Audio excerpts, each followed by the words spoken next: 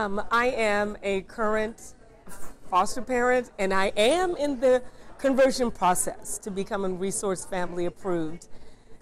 And the fact is that no matter what we're called, the need is still there. And just because of a difference in the name and maybe some of the procedures, those kids aren't going to go away. Kids who need homes, teens who need homes, children who need homes are still going to be there. And so I would just encourage anybody to go ahead and just take that little bit extra sacrifice, that little bit extra work or paperwork or whatever it takes to do it for the kids. And that's why we started as foster parents in the beginning was for the kids. It wasn't for our convenience because no one in their right mind would ever do this out of convenience. So I would just encourage you, take the take the the extra time and just convert and do it for our children.